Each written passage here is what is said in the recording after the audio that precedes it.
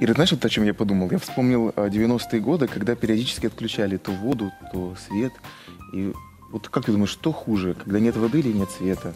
Я даже не хочу думать о том, что хуже. Хотелось бы, чтобы вода и свет были. А вот как раз-таки по поводу ситуации с водой, я думаю, мы сейчас пообщаемся с нашим гостем. Итак, сегодня в студии у нас Ольга Рябенькая, заместитель генерального директора по сбыту государственного унитарного предприятия Республики Крым «Вода Крыма». Доброе утро. Доброе вам Доброе утро. утро. Ведь правда же говорят, что без воды и не туды, и не сюды. Абсолютно с вами согласна, поддерживаю. Скажите, вода это тоже ресурс, который подлежит учету, безусловно. А что для этого нужно, чтобы учитывать воду?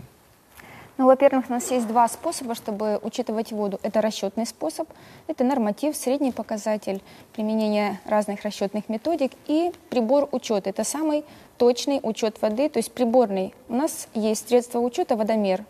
И при установке водомера абонент может четко контролировать свои потоки воды, э, экономить воду или э, располагать на свои финансы и, соответственно, с этим потреблять определенное количество воды и по своим потребностям. То есть, грубо говоря, э, можно поставить счетчик, а можно платить там по какому-то среднему числу. Можно. Потребление. Это расчетный способ, Мгм. это норматив. Он зависит от степени благоустройства проживания абонента. Но в любом случае практика доказывает уже неоднократно, что приборный учет, то есть при установке прибора учета водомера, потребление воды намного ниже и экономнее, и, соответственно, для бюджета семьи это выгоднее. А вот как выбрать и установить счетчик, если вот его нету в семье, например? Ну, во-первых, у нас в каждом городе мы обслуживаем сегодня 12 городов крупных и порядка более 80% территории всего Крыма населения мы уже обеспечим водой. То есть мы определены э, основным и самым крупным оператором по водоснабжению. И на сегодняшний день в каждом городе, в каждом населенном пункте работают абонентские службы, которые э, возглавляют руководители, специально подготовленные профессиональные сотрудники, которые дадут квалифицированную консультацию по подбору прибора учета. Но мы принимаем в эксплуатацию те приборы учета, которые регламентированы 102 МФЗ, это э, федеральный закон об единстве измерений. И мы принимаем в эксплуатацию те приборы учета, которые занесены в российский реестр приборов учета, допущенных э, к эксплуатации в Российской Федерации.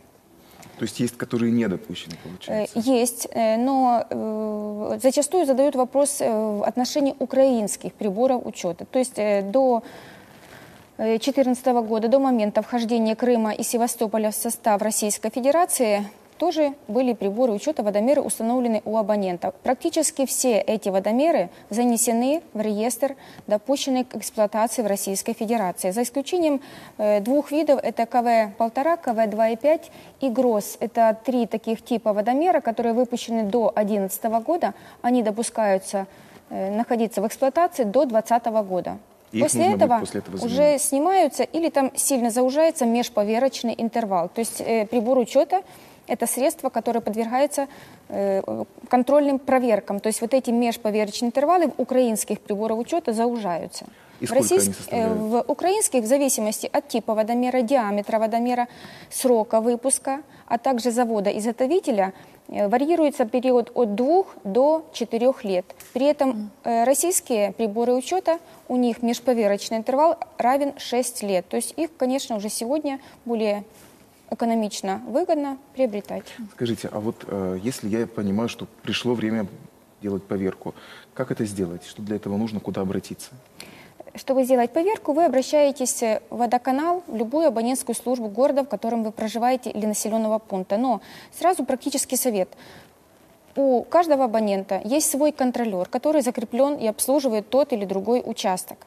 Вы можете звонить. У нас очень коммуникабельные э, сотрудники, все абсолютно, и операторы, и контролеры, которые вам оставляют свои контактные телефоны для общения, для того, чтобы получили вы любые ответы на их вопросы. То есть первый шаг вы можете позвонить своему контролеру. Второй шаг. Вы можете позвонить в абонентскую службу населенного пункта, в котором вы проживаете.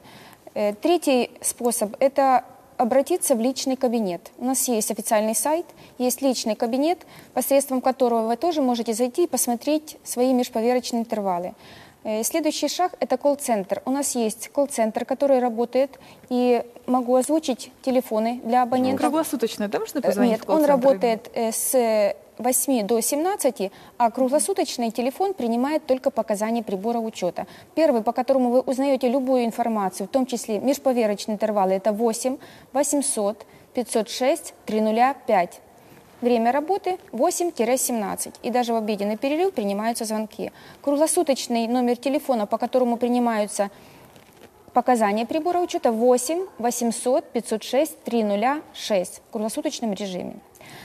То есть можете вот такие, с такими способами сообщить или узнать о том, что у вас истекает межповерочный интервал, или вы хотите уточнить, когда же истекает межповерочный интервал. Дополнительно телефоны абонентских служб везде размещены у нас во всех уголках потребителей, на сайтах администрации, а также на нашем официальном сайте ГУПРК «Вода Крыма». Каждого города есть контактный телефон абонентской службы. И более того, они там фильтруются для физических лиц, то есть для населения, и для юридических лиц, то есть для предприятий. Позвонив туда, вы можете узнать межповерочные интервалы. И узнаете, если он подходит, соответственно, вы делаете заявку на снятие пломбы с водомера, потому что пломбы накладываются для контроля учета работы прибора учета и невмешательства в его состояние для правильности и корректности учета предоставленных услуг.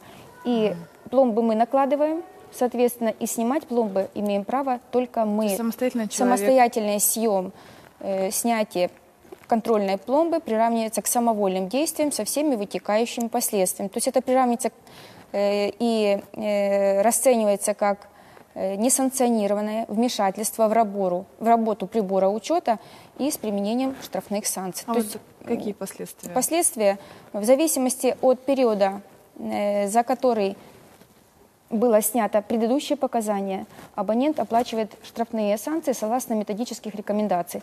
Там есть определенный способ расчета, это зависит от диаметра э, трубопровода, зависит от материала и зависит от периода предыдущего посещения контролером есть, абонента. Грубо говоря, если произошла так, как, по какой-то ошибке травматизация пломбы, то надо немедленно позвонить и сообщить об этом. Обязательно. Даже в договорах или в инструкциях при установке прибора учета мы сразу предупреждаем абонента, если прошла какая-то внештатная ситуация, вы должны обратиться. И мы даем ряд телефонов для того, чтобы сообщить, ну и, соответственно, прежде всего это контролеру своему сообщить о внезапном таком повреждении. Ольга Григорьевна, возвращаясь к теме поверки, платная эта услуга или бесплатная? Поверка сама процедура платная. На сегодняшний день по Крыму есть э, ряд компаний, которые имеют аттестацию, специальное оборудование, на котором проводится поверка приборов учета. Э, мы, к сожалению, прекратили деятельность по определенным причинам, но э, есть много компаний, такие как ГУП РК Крым Теплокоммунэнерго. Месторасположение улица Гайдара 3А. Они проверяют приборы учета, и у них э, очень большой диапазон от диаметра 15 по 80 и 100. Более того, есть Крым стандарт метрологии. Это тоже специализированная компания, которая проверяет приборы учета. И ИМТЦ Крым – находится по Кычкемецкой 198. Эта компания тоже профессиональная, которая оказывает услуги по поверке приборов учета. Ольга Григорьевна, к сожалению, время подходит к концу. Но а, последний вопрос хотел бы все-таки задать вам. Вы сегодня упомянули о том, что все-таки современные технологии нещадно проникают в нашу жизнь, и уже на вашем сайте есть личный кабинет. В двух словах, как им воспользоваться? Э, вы заходите, есть сайт ГУПРК «Вода Крым», официальный сайт. Э, заходите, есть там окна, личный кабинет. Очень удобный, удобный вариант для общения, скажем так, с э, водоканалом. Там вы можете заносить свои показания, давать заявки на снятие пломбы с водомера или на опломбирование водомера, и даже в том числе на первичную прием э, прибора учета в эксплуатацию. Вы можете оставить заявку на какие-то ремонтные работы, потому что наша компания оказывает ряд услуг э, профессиональных, которые качественно оказываются по ремонту э, водопроводу, подключению, установке прибора учета, демонтажу его при разных ситуациях. Когда, например, вы делаете ремонт в квартире, обновляете э, свой интерьер, соответственно, тоже бывают случаи повреждений. То есть, чтобы э, не допустить этого, вы можете заявочку в личный кабинет сделать, и предупредить какие-то негативные последствия. Вы можете и провести оплату через личный кабинет, что очень удобно. Это не отрывает вас от основного вида занятий. Вы не стоите в очередях, вы не оплачиваете комиссионные сборы, потому что через личный кабинет там Не ноль. оплачивается. Да, Комиссия комиссия удобно. агента не принимается. То есть очень удобный сан для абонента. Спасибо, Спасибо большое. большое. Да, мы напоминаем, что сегодня в студии была Ольга Рябенькая, заместитель генерального директора по сбыту Государственного унитарного предприятия Республики Крым «Вода Крыма».